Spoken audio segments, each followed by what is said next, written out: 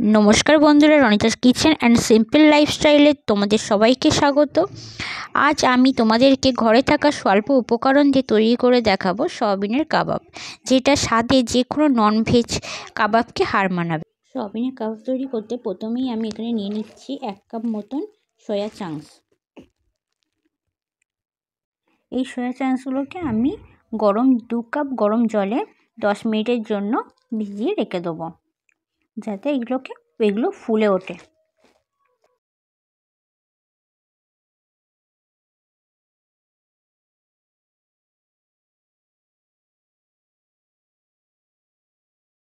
তো দেখো, দশ মিনিট হয়ে গেছে। সয়াবিনগুলো কীরকম ফুলে উঠেছে। এবার এই সয়াবিনের থেকে জলগুলোকে ভালো করে চিপে নিয়ে এগুলোকে মিক্সিং জারের মধ্যে দিয়ে দেবো। এবার মিনিট দু তিনেক ধরে সয়াবিনগুলোকে পেস্ট করে নেব। একদম মিহি পেস্ট করব না, একটু দানা দানা থাকবে। তো দেখো আমার এগুলো পেস্ট করা হয়ে গেছে। কীরকম দানা দানা একটু একটু রয়েছে, এবার এগুলোকে আমি একটা বাটিতে নামিয়ে নেব।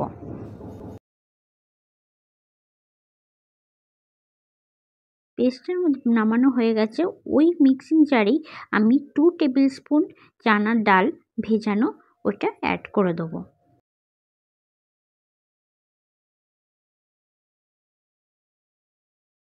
এবার আমি এর মধ্যে দিয়ে দেবো হাফ ইঞ্চ আদা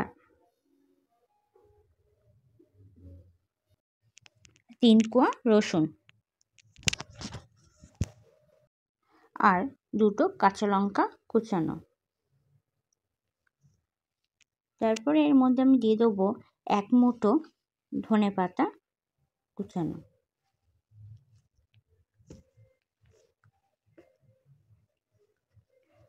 আর যদি বাড়িতে থাকে হচ্ছে মিন্ট মানে পুদিনা পাতা, তাহলে সেটাও কুচানো দিয়ে দেবো। কারণ কাবাবে পুদিনা পাতা দিলে টেস্টটা ভালো আসে। এবার এই সব উপকরণ একসঙ্গে মিক্সারে পেস্ট করে নেব। তো আমার পেস্ট করা হয়ে গেছে। এইবার এটাকে যে বলেতে আমি সয়াবিনটাকে, সয়াবিন পেস্ট নামিয়েছিলাম, সেই বলেতে এটাও নামিয়ে নেব।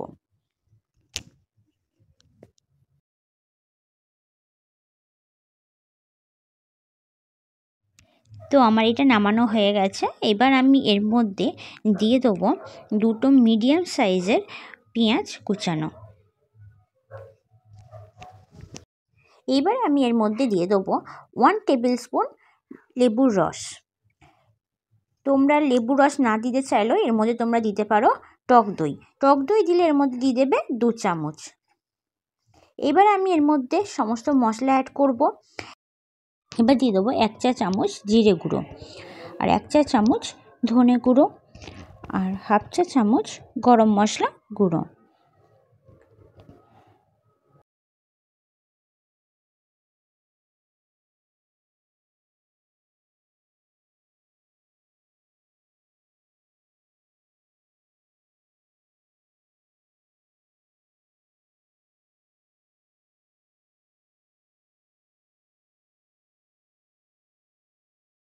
আর দিয়ে দিতে হবে পরিমাণ মতো নুন।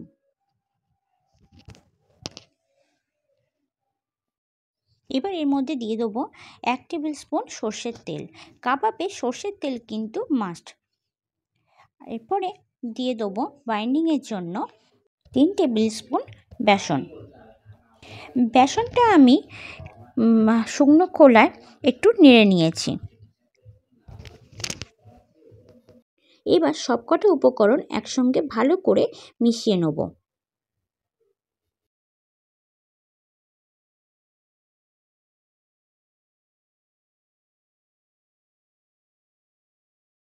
এবার আমি হাতে একটু সর্ষের তেল ভালো করে মিশিয়ে নিয়ে তোমরা যে যেরকম পারবে সেরকম শেপে কাবাবগুলোকে গড়ে নেবে।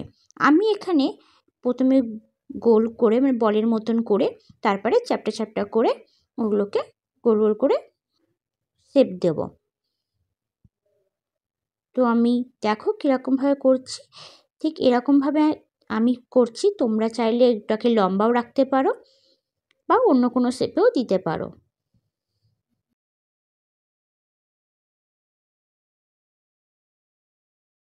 তো আমি এইভাবে সব কটা কাবাব গড়ে নেব।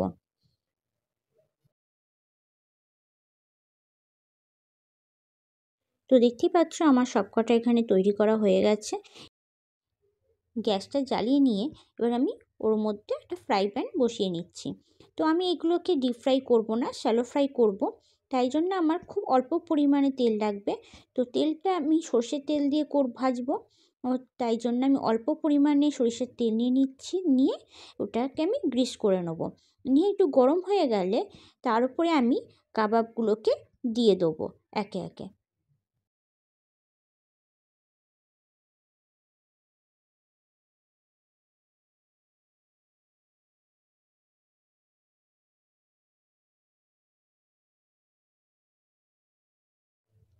তো আমি কাবাবগুলোকে উল্টে পাল্টে ভালো করে লাল লাল করে ভেজে নেব।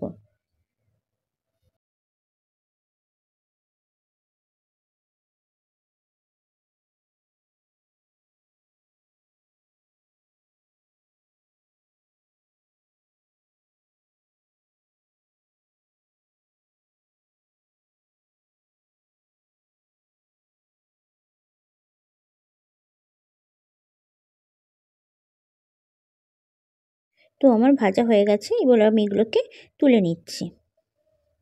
তুলে নিয়ে এইটাকে আমি প্লেটিং করে নেব। যদি আমার এই রেসিপিটা তোমাদের ভালো লেগে থাকে, তাহলে লাইক কমেন্ট অ্যান্ড শেয়ার করে দিও। আর নতুন বন্ধু হলে তাহলে আমার চ্যানেলটি সাবস্ক্রাইব করে দেওয়ার অনুরোধ রইল।